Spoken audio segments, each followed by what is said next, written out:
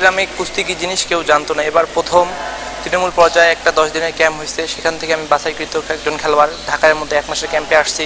কীভাবে নিজেকে বাঁচাতে হয়? ম্যাটের সব কিছু পয়েন্ট সম্পর্কে জেনেছি। কীভাবে টেকনিক মারতে হয়?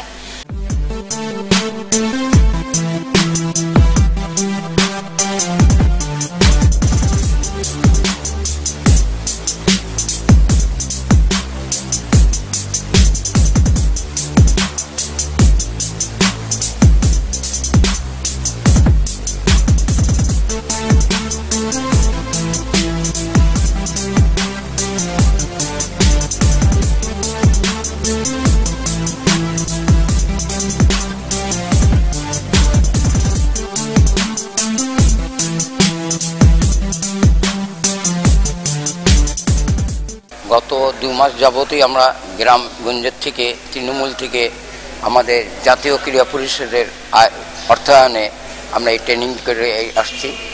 জাতীয় ক্রীড়া পরিষদ যদি অর্থায়ন না দিত আমাদেরকে, আমরা এই প্রোগ্রামটা করতে পারতাম না বা হইতো না। বাংলাদেশের দুরন্ত সন্তান, আমরা দুর্বার দুর্জয়। ক্রীড়া জগতের শীর্ষে রাখব, আমরা সৌর্যের পরিচয়। বাংলাদেশের দুরন্ত সন্তান আমরা ক্রীড়া জগতের শীর্ষে রাখব। আমরা পরিচয়, সুন্দর দেহ, সুন্দর মন, বিধাতার সেরা দান।